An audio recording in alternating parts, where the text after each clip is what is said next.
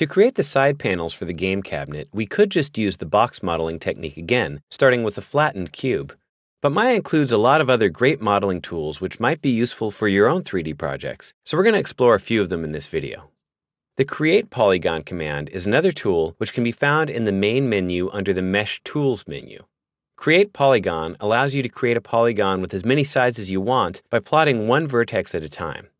We'll activate the Create Polygon tool then go to our side view and trace over the reference image to create a polygon which matches the silhouette of the game cabinet.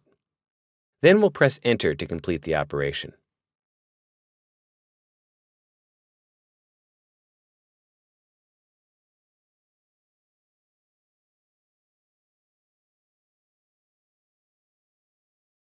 When modeling assets for most game engines, we're free to create polygons with as many sides as needed because all the geometry will ultimately be split into triangles when it's displayed or rendered with lighting and textures in the game engine. But generally, it's preferable to avoid creating polygons with more than four sides, also known as n-gons. One reason is that textures sometimes appear warped or distorted when applied to n-gon geometry.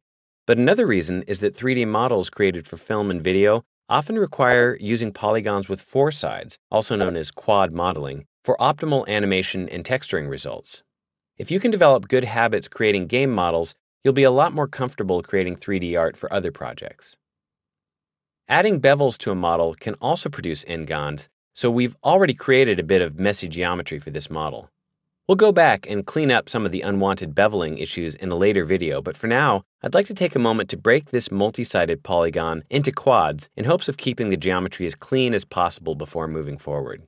For this side panel, I'm going to eliminate the n-gons by using Maya's Multi-Cut tool.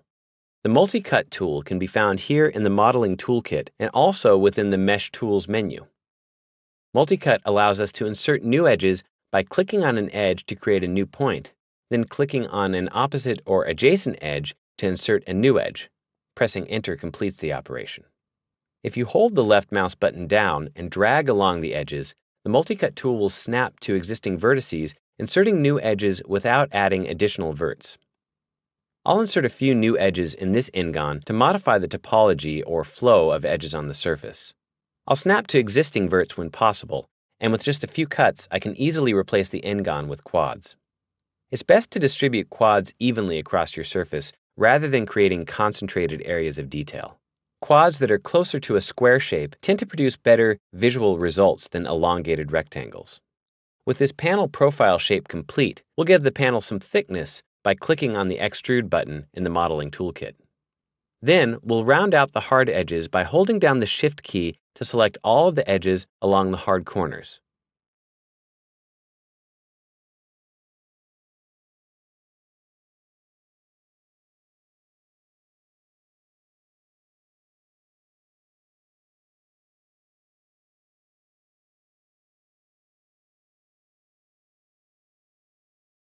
Then we'll click on the bevel button and adjust the fraction and segments attribute values.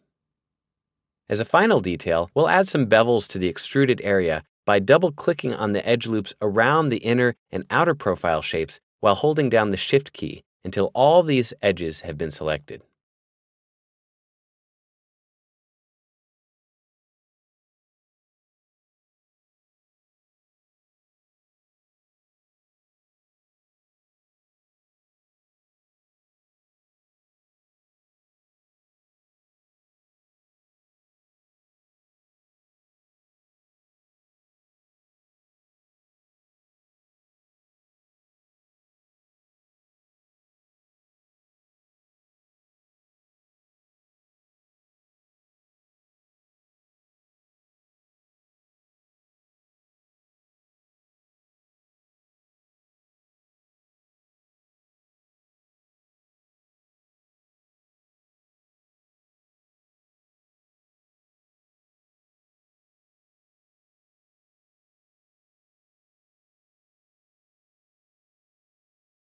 One more click on the bevel tool and the side panel is finished.